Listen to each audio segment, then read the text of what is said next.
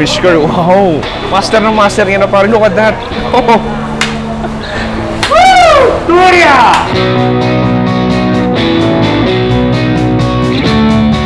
Kuala Lumpur, the city capital ng Malaysia, a powerhouse financial and business hub in Southeast Asia. Isang syudad na maraming aksyon at melting potluck para sa pagkain. Tinatawag din na truly Asian country dahil sa diversity ng culture, religion at races. Malays, Chinese at Indians ang tatlong pangunahing mga residente dito. That's why, mapafascinate ka sa mga unique combination ng mga pagkain dito. Authentic Teta Rick?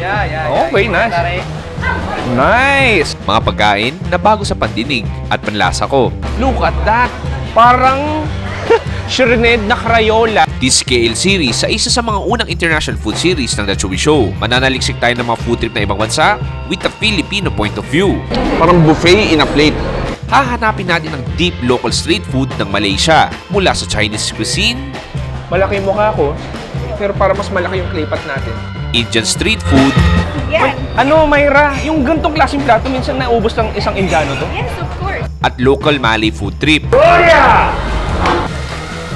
Nakakahay. Sobrang anghang. Nangangati yung pinaka dito.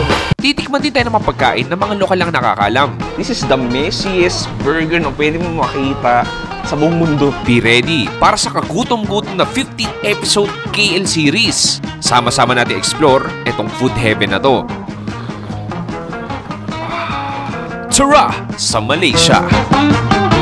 Pamparam. Pamparam. Pa parang gano'n. Pamparam. Pampa.